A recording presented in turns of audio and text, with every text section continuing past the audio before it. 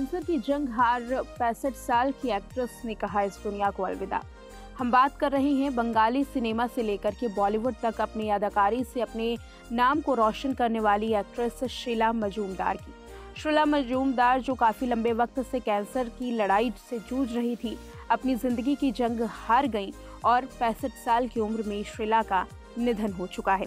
बताते चले कि शीला मजूमदार ने कई हिंदी सिनेमा में काम किया। वो मृणाल, सेन, श्याम, बेनेगल और प्रकाश झा जैसी डायरेक्टर्स के साथ फ़िल्मों में काम कर चुकी हैं।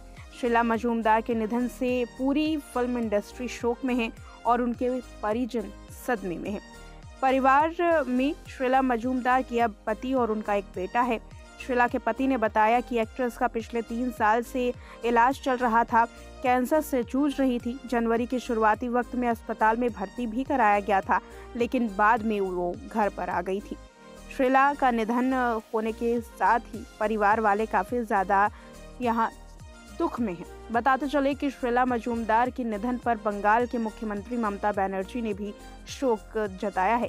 साथ ही उनकी काबिलियत और भारतीय सिनेमा में अहम रोल की तारीफ़ भी की है।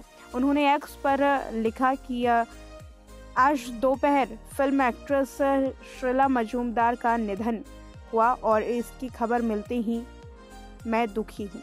श्रीला एक प्रसिद्ध और सशक्त अदाकारा थी, जिन्होंने कई अहम भारतीय फ़िल्मों में कई उम्दा किरदार निभाए। वो बंगाल फ़िल्म इंडस्ट्री के लिए बड़ी क्षति हैं।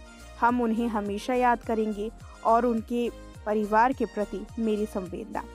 शीला मजूमदार ने 16 साल की उम्र से ही एक्टिंग करियर शुरू कर दिया था।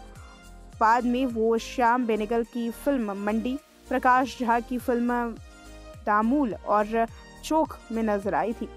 अपने करियर में उन्होंने स्मिता पाटिल नशीरुद्दीन शाह, शबाना आजमी जैसे स्टार्स के साथ काम किया है।